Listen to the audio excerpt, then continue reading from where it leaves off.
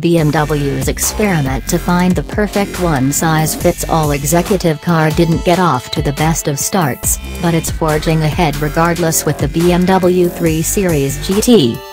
Munich's first Gran Turismo model arrived in the UK at the turn of 2018.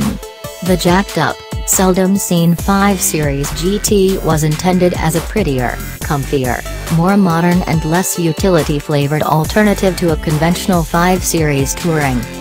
Put simply, the BMW 3 Series GT is a hatchback version of the 3 Series Saloon. It was supposed to find a brave new executive market niche, but it sold slowly, and to the wrong people.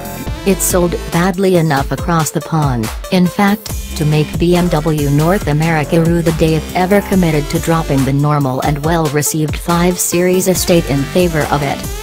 Now, after the 5 Series Gran Turismo made us all stand back, squint and scratch our heads, there's a second example of this saloon cum estate with which to get acquainted. It is the smaller 3 Series GT, and its mission is to combine the looks of the 3 Series saloon with the usability of the Touring.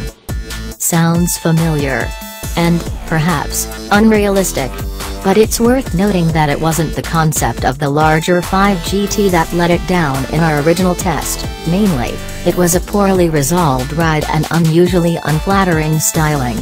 Clearly, there is some mileage in the 3 Series GT as summer 2016 saw the coupe-shaped car gain some minor exterior changes, the addition of new and upgraded engines, and redefined trim levels. Time to find out, then, if BMW has nailed the Gran Turismo execution at the second time of asking.